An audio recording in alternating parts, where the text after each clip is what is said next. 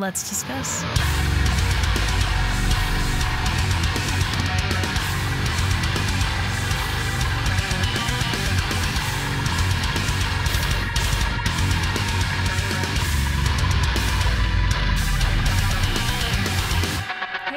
Rachelle back again with another reaction video, and today I'm going to be checking out a new song from the Dali Thundering Concept. This is a band I've heard a little bit from off of their 2018 album Savages, as well as I believe one or two new singles, but not not too much out of their discography. But what I have heard, I really enjoyed, and they got this song over to me that I'll be checking out today a bit early. So big shout out to the band for getting this over. I'm really stoked to check this out. Wanted to make sure I got it done since uh, the name popped up, and I remembered really enjoying what I've heard. The song that I will be checking out today is called The Sea Starts Here, and it actually features Ryo from Crystal Lake. So that is where we are at. I'm going to stop talking and we're going to get straight into it.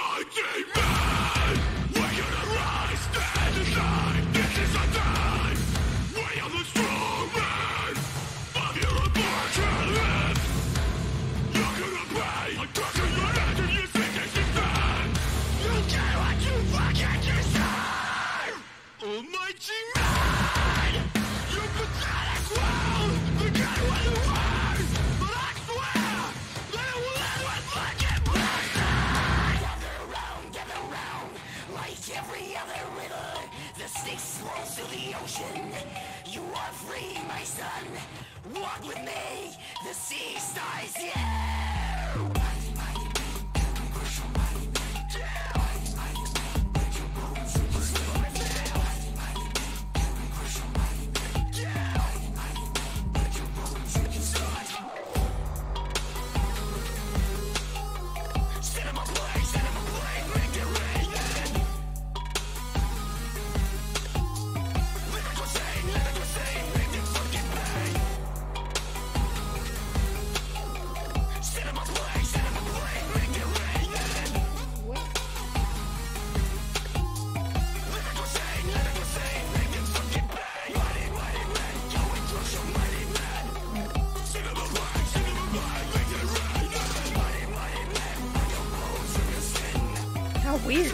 I like it though.